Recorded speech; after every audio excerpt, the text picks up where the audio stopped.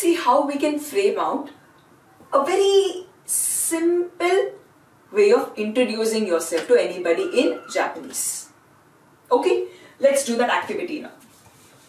You're meeting someone, the first word which you will be using could be konnichiwa.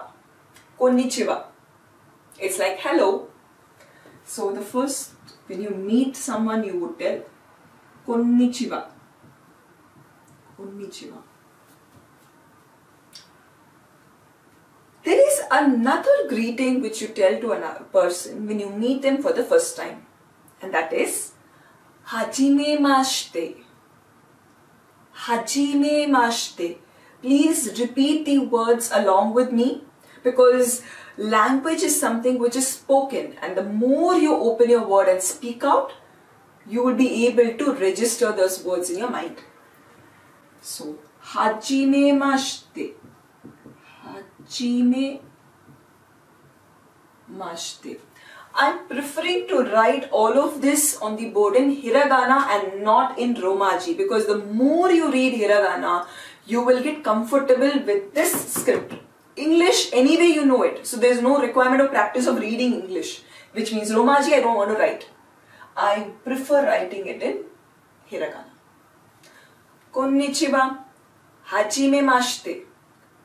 And then you're going to tell, I am so and so, that is, you're going to tell your name.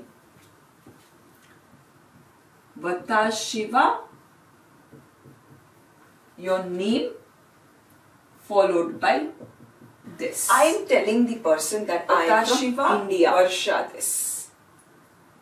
Watashi wa, Varsha desu. Next, I am an Indian.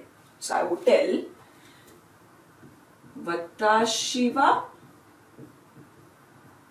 Indojin desu. Indojin desu. Watashi wa Indojin desu. I am an Indian. Last, when you end the introduction, you would tell there's a greeting like that, which is Dozo yoroshiku onegai shimasu. Dozo Dozo yoroshiku onegai shimasu. Dozo yoroshiku onegai shimasu. This is a phrase. If I have to give you the literal meaning of it, dozo means please take care of me. Or you could tell, I would be happy working with you. So this is a phrase which is commonly used at the end. Dozo yoroshiku onegai shimasu.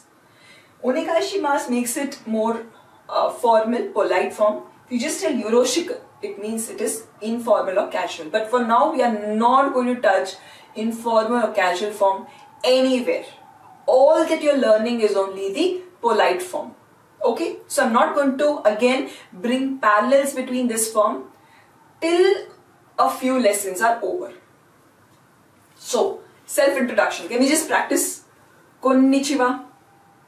Hajime mashite. Watashi wa Varsha desu. Watashi wa Indojin desu. Dozo yoroshiku onegai shimasu.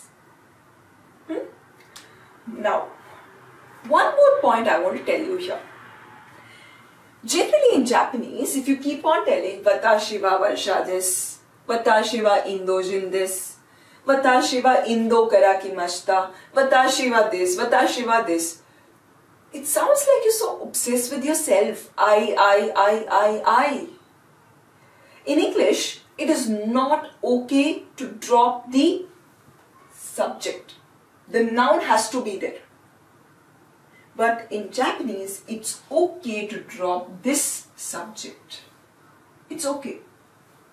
So you need not tell Watashi wa Varsha desu, Watashi wa Indojin desu, Watashiwa Indo karakimashita, Watashi wa Watashi wa. They would think that you don't, you are not a person you know, who understands Japanese in its true sense. So, rehearsing the Jikoshokai, this introduction, Jikoshokai, again, without this Watashiwa. Okay, let's do it again. Konnichiwa. Hajime mashite. Varsha des. You need not tell Vatashiwa Varsha. Just drop Vatashiwa. It's okay to drop the subject. Not the verb or the object which follows it. Okay? Varsha des. Indojin des. Dozo yoroshiku onegai shimasu. That's it.